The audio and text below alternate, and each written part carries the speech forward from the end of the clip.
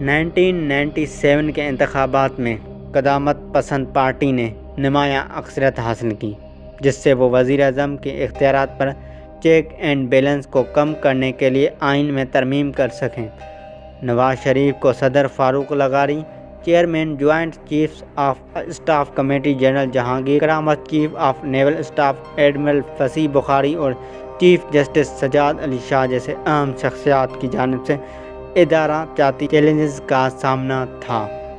شریف نے کامیابی کے ساتھ ان چیلنجوں کا مقابلہ کیا، جس کے نتیجے میں چاروں نے استعفیٰ دے دیا۔ بھارت کے ساتھ کشیدگی نائنٹین نائنٹی ایٹ میں بھارتی ایٹمی تجربات آپریشن شکتی کے بعد بڑھ گئی اس کے جواب میں شریف نے کابینہ کے دفاعی کمیٹی کا اجلاس بلایا اور اس کے بعد چاخی کی پہاڑیوں میں پاکستان کے اپنے جوہری تجربات کا حکم دیا۔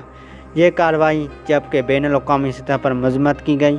مقامی سطح پر مقبول تھی اور ہندوستانی سرحد کے ساتھ فوجی تیاریوں میں اضافہ ہوا۔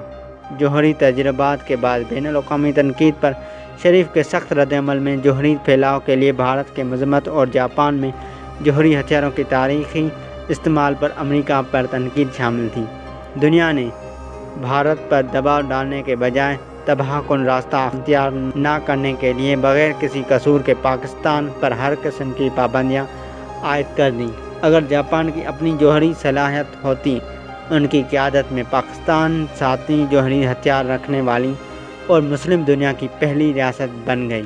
جوہری ترقی کے علاوہ شریف کی حکومت نے پاکستان انوائرمنٹل پروٹیکشن ایجنسی قائم کر کے ماحولیاتی پالیسیوں کو نافذ کیا۔